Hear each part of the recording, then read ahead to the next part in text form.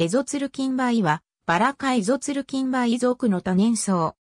別名、エゾノツルキンバイ。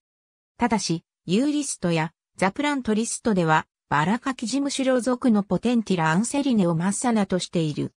根茎があり、細く長い走出枝を出して、節から根を出し広がり、ロゼットを形成する。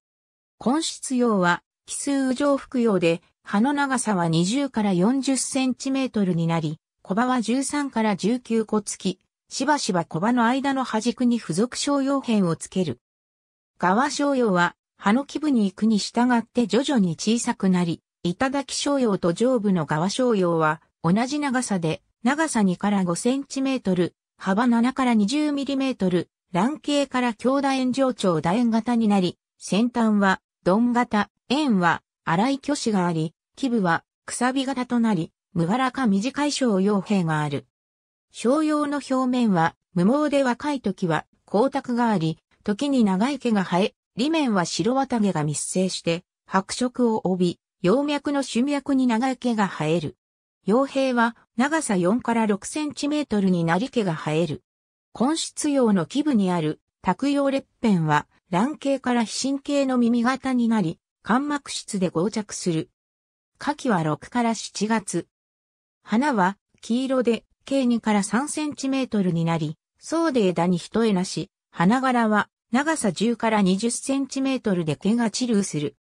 学片は5個あり、三角状卵形で先は、絵頭、長さ5から7ミリメートルになり、外側に毛が密生する。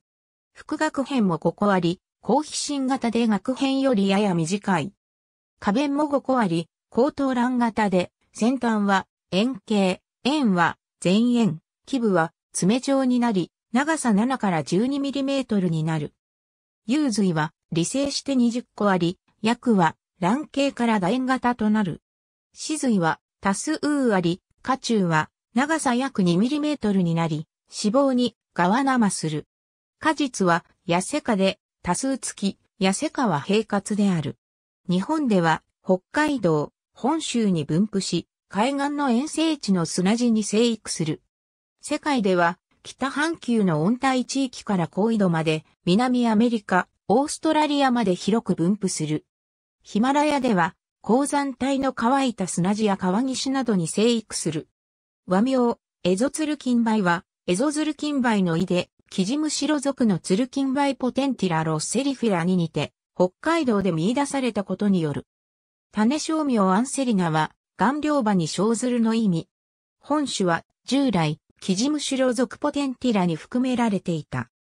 しかし、近年の分子系統学的解析により、従来の同族は講義であり、系統的にはいくつかの異なるまとまりが確認され、それらはエゾツルキンバイ族をはじめ、キンドバイ族ダセファー、黒バナローゲ族コマラムなど、別の族として独立させるのが合理的とされた。そして本種は、キジムシロ族から独立したエゾツルキンバイ族に移され、学名はアージェンティーナ・アンセリナ・リドブとされた。しかし、ザプラントリストでは、A、アンセリナ・リドブは、キジムシロ族としてのポテンティラ・アンセリナ・エルのシノニムの扱いとなっている。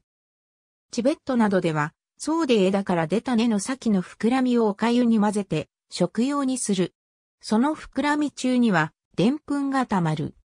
また、秋に太い根を選んで掘り出し、ヨーロッパ原産のパースニップ同様の根菜として扱い、スープの具とし、その香りを楽しむ。ありがとうございます。